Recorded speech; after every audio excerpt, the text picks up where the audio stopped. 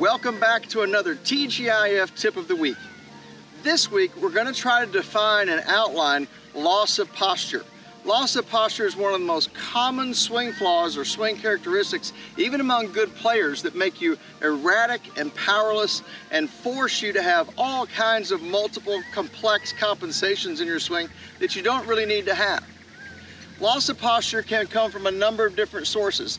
One that we examined last week is a flat shoulder plane. If your shoulders rotate on a plane that's fairly close to the horizon, that can cause you to have a loss of posture. If you notice the angle that I'm bent over here, and then when I turn flat shoulder plane, it's changed dramatically. Another loss of posture can come from what's called early extension, when your hips, where they are at address, move to a different place at, in the downswing and at impact. So early extension, this is flexion, this is extension. If I early extend, that can make me hit the ball right and left, fat and thin. It causes the most erratic ball flight of any of the loss of posture elements that can happen. Another loss of posture, if you have a reverse spine tilt, if you have hanging back, those are all losses of posture. If you have not too much waist bend at the end of the backswing and then you increase that waist bend in the downswing. That's a loss of posture. If you have dramatic C posture at address and then you sort of self-correct it in the backswing and downswing. If you have massive S posture and you sort of self-correct that in the backswing and downswing, those are all considered loss of posture. Loss of posture can even come from your knees. If I dramatically increase my knee flex through impact, this squatting down without jumping is going to give me a loss of posture in this direction.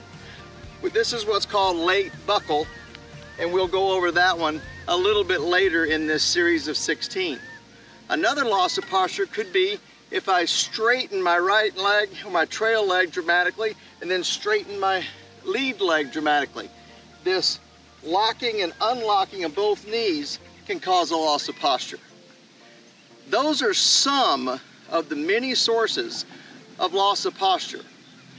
Where you can stabilize this and where I want you to start to try to make your posture more stable is simply take a club and put it behind your back, hold it in your uh, above your head this way and down by your belt and then just press the, your back up against the shaft as best you can. Then put the club on the ground and see what that feels like. This would be correct posture for me.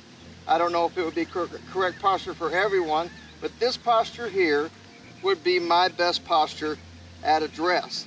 My goal then is to maintain this posture as I swing back and as I start down and even as I follow through, I would like to maintain this postural angle that you see right there. So from this view, press my spine up against this shaft, rotate in such a way that that angle stays the same, that it doesn't move up and down this way, or side to side this way, side to side this way. Rotate around this axis, and then on the way through, the same basic tilt that I had at address.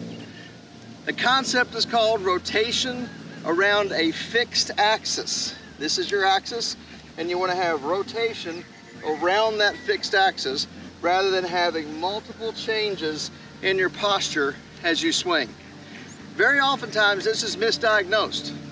It is often thought of as moving your head, Well, you can see if I rotate around a fixed axis, this would be moving my head. But my axis and my spine angle and my postures are staying the same. However, if I lose my posture, then that's when my head gets moved with that loss of posture. So it's very important, a very strong, powerful, very uh, foundational element of swinging well is to maintain your posture.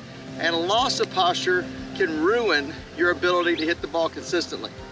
If you need to find out where your loss of posture is coming from and what to do to correct it, just come see one of us on your TGIF team and we'll help you discover why you're losing your posture and how we can help you make it more stable. Until next time, we hope that you feel better, you play better, and you have more fun.